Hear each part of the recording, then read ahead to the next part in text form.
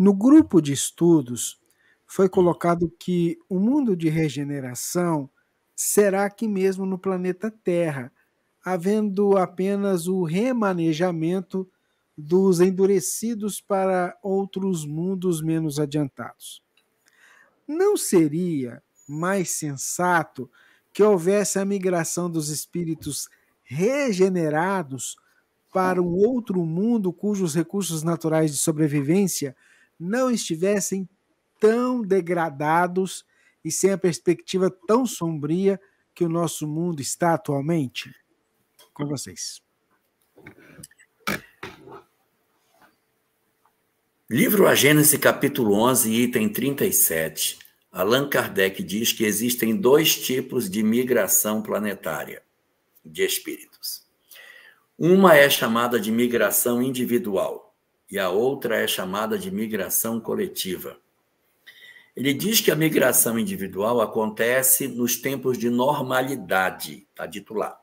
Capítulo 11, item 37, a Gênese. E que as migrações coletivas acontecem apenas nos momentos especiais. O que, que são momentos especiais? Vá no item 35, dois acima do 37, que ele vai falar o que é o momento especial. É a transição planetária. Resumo, resumo da ópera. Na transição planetária, migração coletiva saem os maus. Fora da transição planetária, migração individual saem os bons para cima. Então, esse período que você falou já passou. Nós já tivemos essa época em que os espíritos que estavam numa condição melhor recebiam o convite, não é obrigatório, recebe o convite para ir para uma sociedade mais evoluída. A etapa já foi. Agora, a massa crítica do planeta, que você está considerando que está assim tão ruim, ela está sendo entendida como sendo majoritária os que ficam. Porque você tem razão, se a maior parte fosse embora, né? A maior parte, não, a, a, a, tem uma, uma, uma parte pequena que mudou e a maior parte é horrível, então é mais lógico tirar a parte menor. Mas olha que notícia boa: a parte que vai sair é a parte menor.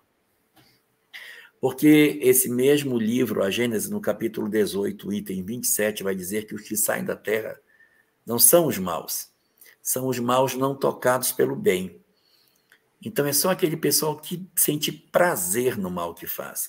Quem faz o mal, mas já se incomoda pelo mal que faz, não é mais o mal não tocado pelo bem, já é o mal tocado pelo bem. Esses ficam. Esses ficam. E no finalzinho desse item 27, você vai ver para onde que eles vão. Eles vão para outras sociedades mais difíceis do planeta que ainda precisam de renovação. E os que são endurecidos vão migrar. Aparece no parágrafo 20 de uma mensagem que está no livro Obras Póstumas, no capítulo 31 da segunda parte. Você vai no livro, na Obras Póstumas, cap, segunda parte, conta até 31, vai bater numa mensagem chamada Regeneração da Humanidade, tem 29 parágrafos, você vai no vigésimo parágrafo, está lá escrito que os maus não tocados pelo bem saem do planeta. Então você tem razão quando fala de que as entidades sairiam do planeta, é, seria mais barato, né? sair só os bons, ficarem os maus por aqui. Mas é porque os maus, nesse momento, na ótica para o mundo de regeneração, é minoria. Então é melhor que eles saiam e o planeta se transforma. Aí você diz, ah, mas aqui está muito acabado. Mas quem foi que destruiu? Não fomos nós. Então quem quebra, conserta. E a gente, quem sujou, limpa. Então, vai haver uma retirada, está acontecendo, dessas entidades. Os que sobrarem não serão endurecidos, vão olhar um para o outro e dizer assim, gente, está na hora de começar a arrumar. E já tem gente fazendo isso, preocupado com o meio ambiente, preocupado com uma série de, de iniciativas. Essa semana eu, tive, eu soube de um negócio muito legal que eu não sabia. Claro, se eu soube, não sabia, né? Essa sacola de supermercado que a gente usa e que vai no lixo, é, eles colocaram um produto nessa sacola que ela, em cinco anos, ela se degrada no meio ambiente. Eu tinha muita preocupação, dizer, meu Deus, essa sacola tudo no, no aterro sanitário, ficar lá mil anos até decompor esse plástico. Não, esse plástico que a gente usa da sacolinha, ele já tem um produto nele que facilita a degradação desse material em alguns anos, cinco anos. Isso é uma boa notícia. Sei que cinco anos é muito tempo, mas é menos tempo do que mil anos. Então, assim, é, já existem iniciativas de melhorar a qualidade do ar, melhorar a qualidade é, das, da, dos, das águas, é, trocar todos os, os, os, lixões por aterros sanitários. São iniciativas interessantes que vão ajudando o planeta a mudar. Ou seja, a gente, nós é que vamos consertar, porque nós quebramos, a gente agora conserta. E aqueles que forem mais difíceis, esses migram do planeta e eles não serão a maioria. Tá bom? Eu queria contar um exemplo. Eu gosto muito do exemplo que nos foi trazido por Satya Sai Baba. Muitos já devem ter ouvido falar, se não ouviram, busquem pelos conhecimentos dele, ele já desencarnou. Satya Sai Baba, certa vez, perguntou para os alunos da escola, de uma escola, o seguinte: vocês estão entrando no pátio da escola e de repente vocês veem no chão uma sujeira, um papel que foi jogado. De quem é a obrigação de juntar esse papel? E os alunos pensaram e responderam: da pessoa que o jogou. E Saibaba disse: é da pessoa que viu o papel no chão. Entendeu a diferença?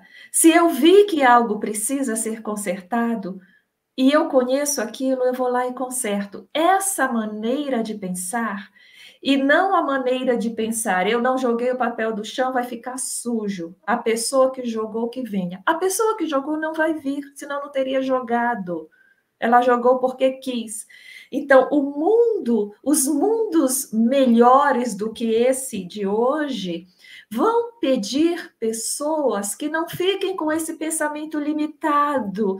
Ah, não fui eu que fiz, então eu não vou consertar. Não fui eu que, que cortei a árvore, não vou plantar outra. Vamos fazer.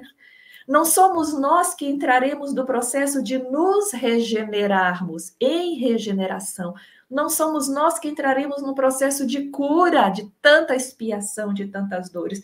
O nosso planeta está entrando conosco num processo de regeneração das suas forças, que nós ajudamos a destruir.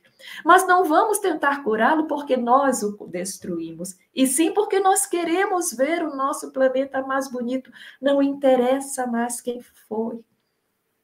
Né? Nós não queremos, podemos pedir que os espíritos que ainda não têm maturidade e que por isso ainda jogam papel no chão sejam responsáveis por limpar, eles ainda não conseguem. Esse papel já é nosso. E isso, esse jeito de pensar, também, gente, é uma chave para a gente entrar no mundo de regeneração.